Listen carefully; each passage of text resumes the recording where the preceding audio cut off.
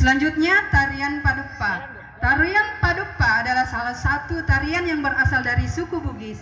Tarian ini memiliki makna yang mendalam serta sering dipentaskan dalam berbagai upacara adat, perayaan dan acara penting dalam masyarakat suku Bugis.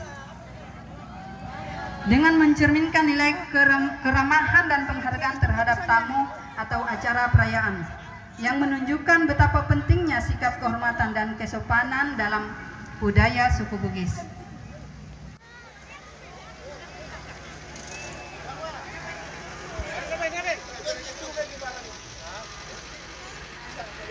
Anu.